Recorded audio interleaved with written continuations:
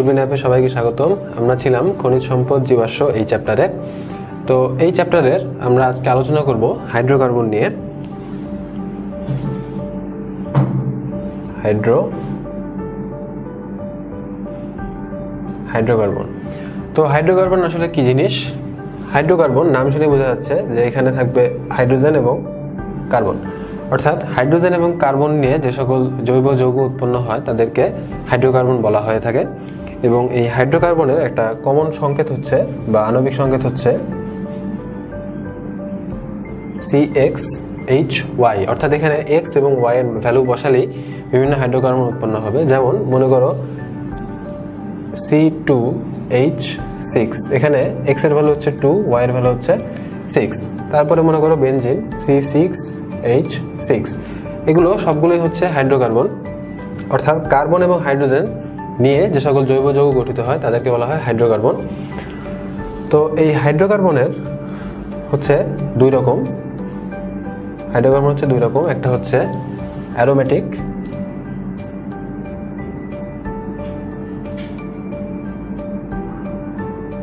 Aromatic hydrocarbon এবং aliphatic hydrocarbon. তো একটা হচ্ছে অ্যারোমেটিক হাইড্রোকার্বন এবং একটা হচ্ছে অ্যালিফ্যাটিক হাইড্রোকার্বন তো আমরা আসলে দেখি এবার অ্যারোমেটিক হাইড্রোকার্বন কি জিনিস?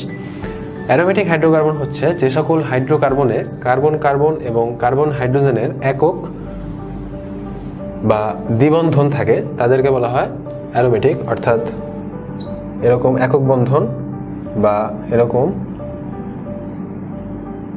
দ্বিবন্ধন, দুইটা বন্ধন বা একক বন্ধন থাকে। তো আমরা যদি একটা উদাহরণ দেখি, যেমন মনে করো এই যে বেঞ্জিনের কথা আমরা বলেছিলাম benzene C six H six তো বেঞ্জিনের গঠনটা আসলে কীরকম? বেঞ্জিনে দেখতে পাচ্ছ যে ছয়টা কার্বন তো আমরা প্রথমে ছয়টা কার্বন দেই। এ হচ্ছে আমাদের ছয়টা কার্বন এবং এই হচ্ছে কার্বন কার্বন একক বন্ধন, অর্থাৎ একটা বন্ধন, একটা দাগ মানে একটা বন্ধন। এটা হচ্ছে কার্বন কার্বন একক বন্ধন। এবার বেঞ্জিনের ক্ষেত্রে বৈশিষ্ট্য হচ্ছে, আমরা অ্যারোমেটিকের বেলায় বললাম যে একক বন্ধন থাকতে পারে, আবার দ্বিবন্ধনও থাকবে। তো আরেকটা দাগ দিয়ে আমরা দ্বিবন্ধন প্রকাশ করলাম। এখানে একটা ব্যাপার হচ্ছে, দ্বিবন্ধন যদি তুমি একটাতে দাও, পরেরটাতেই তুমি দ্বিবন্ধন দিতে পারবে না, দিতে হবে তার পরেরটাতে। এটা কেন আমি দেখাচ্ছি? আমরা জানি যে কার্বনের হাত হচ্ছে চারটি। চারটি হাত মানে হচ্ছে এরকম। এরকম চারটি হাত। এই হাতগুলোর সাথে হাইড্রোকার্বনের ক্ষেত্রে সবগুলো হাতের সাথে কোনোটার সাথে কার্বন বা কোনোটার সাথে হাইড্রোজেন যুক্ত হয়।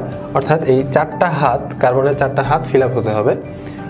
তো এখানে দেখো, এই কার্বনের ক্ষেত্রে এক, দুই, তিন, তিনটা হাত ফিল হয়ে গেছে, বাকি থাকে আর একটা হাত। এই কার্বনের ক্ষেত্রেও এক, দুই, তিন আর একটা। এক, দুই, তিন, এই চার নম্বরটা, এক, দুই, তিন, চার। অর্থাৎ সবগুলাতেই একটা করে হাত বাকি থাকতেছে। তো এই বাকি হাতগুলোতে বসবে হাইড্রোজেন, যেহেতু আমাদের হাইড্রোজেনও ছয়টা। হাইড্রোজেন।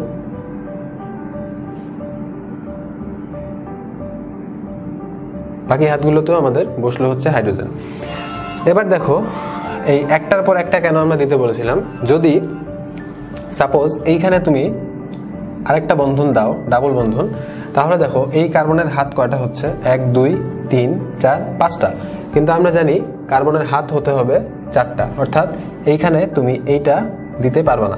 এই বন্ধনটা তুমি দিতে পারবে না। তোমাকে একটা একটা পর বন্ধন দিতে হবে।